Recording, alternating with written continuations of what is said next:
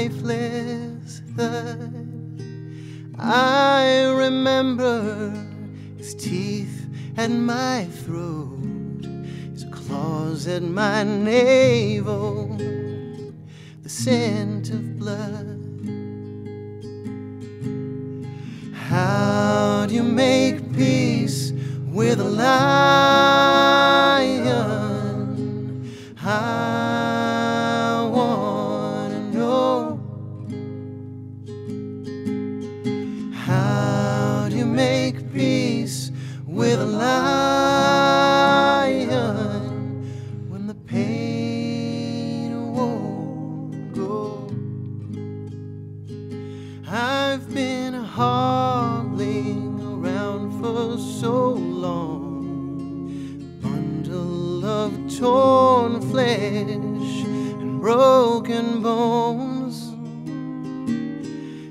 it's hard not to yelp with each memory, each worm covered wound I still haven't outgrown.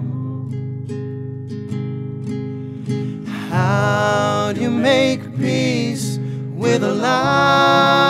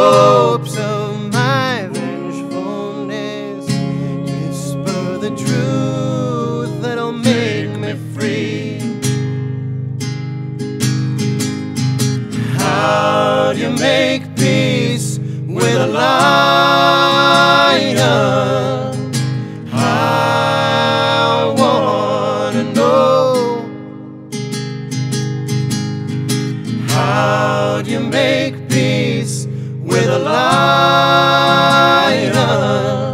if the pain won't go? How do you make peace with a lion?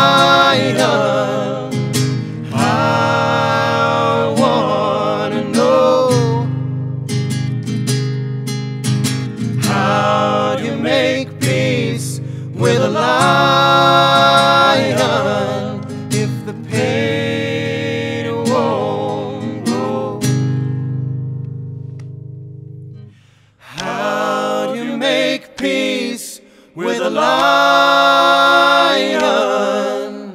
I wanna know. How do you make peace with a lion when the pain won't